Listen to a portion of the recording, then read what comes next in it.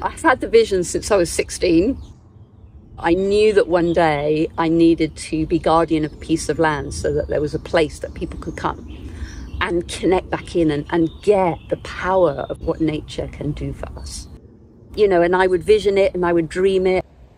There was very much this clear image I used to get of these two oak trees. And then when I walked through the gate here, and these trees were like the first thing I saw, I just burst into tears because I was like, I know now that this is the place. We hold you in our circle.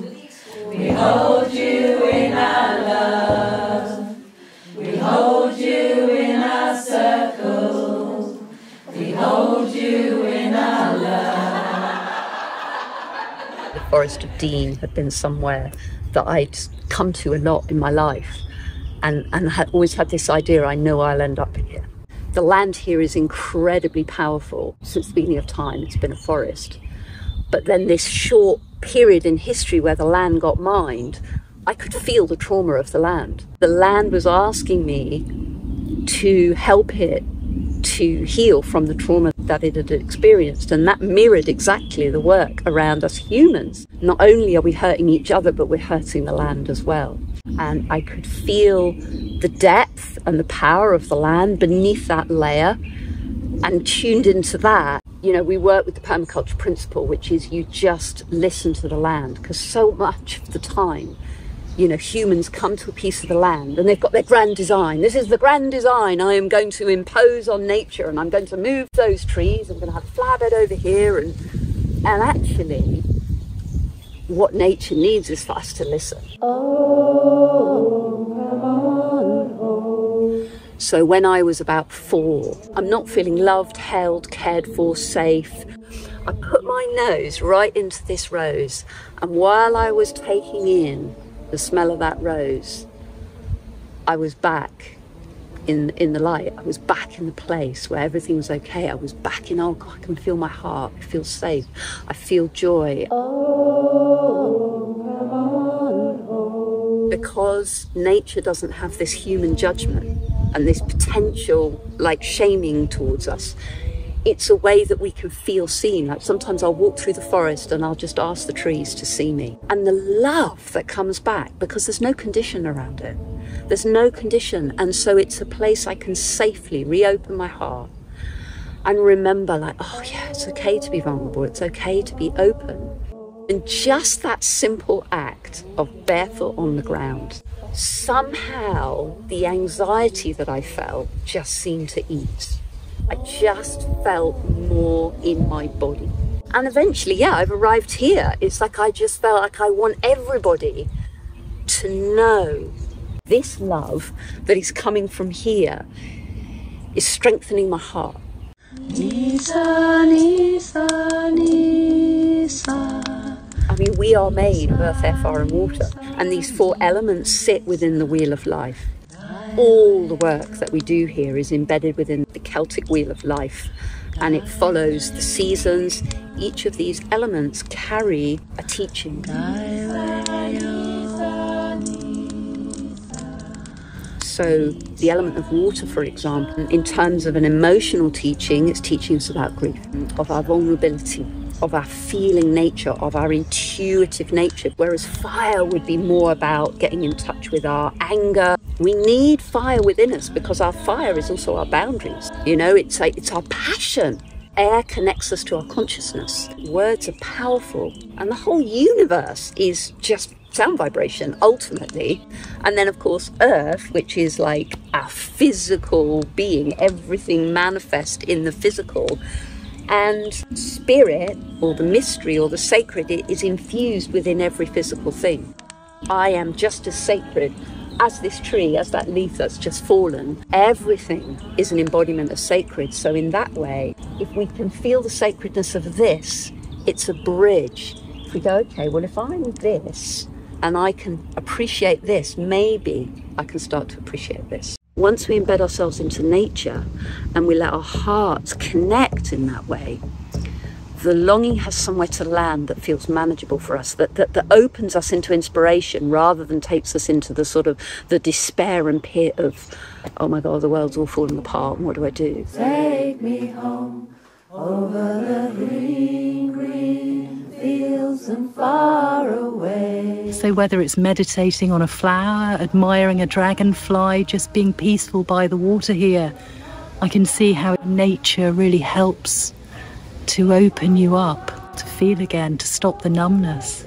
That certainly was the case with me. And far away. I first arrived here, there was an energy, a sanctity about this land, this piece of land around these two oaks, male and female. And I needed to ask for permission to enter this sacred space, to be here.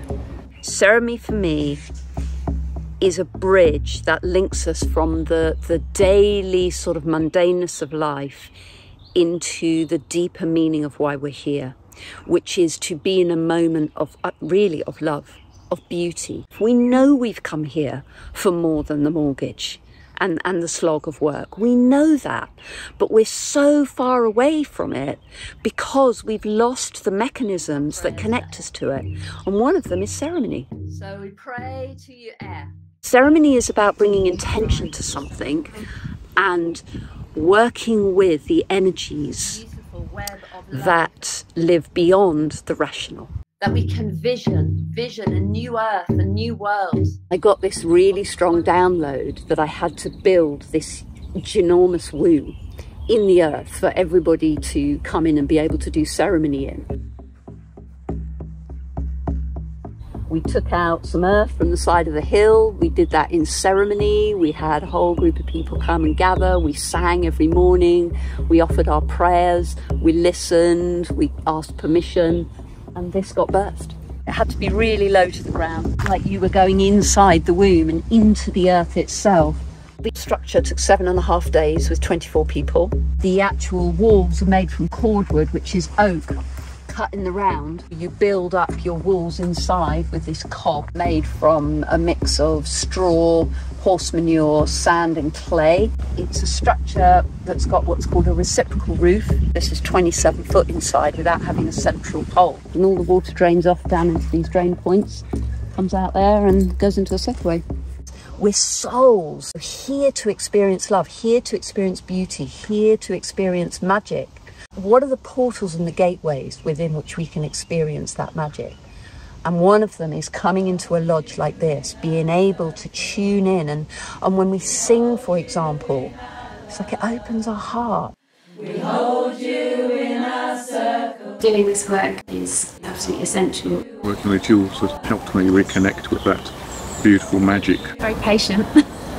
yeah, I think she is very patient. She's very fearless about naming the elephant in the room, which is actually a huge relief. And everyone starts laughing and they're like, mm-hmm. oh, okay, I can be a normal woman. I think our hunger to be in circles is a longing at a deep level to feel this sense of belonging. It's like we all have this holy wound, a core belief that we're somehow fundamentally bad, like I'm not enough, I'm not lovable, there's something bad and wrong with me. And then we look at life through the lens of this belief. When we come into circle, you're longing to be seen and accepted. So the fact that there are these people witnessing that there's a place for us does something to our psyche because it taps us back into this collective piece of belonging. Because there's a collective wound here, because we haven't been embedded in a village. We haven't been welcomed by the fourth generation of grandparents. We haven't got this familiarity of land and we know our ancestors are buried just over there.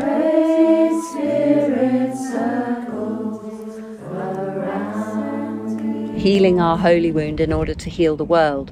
Really, it's working with the father wound and the mother wound. And it sits in an ancestral line. It isn't just this generation.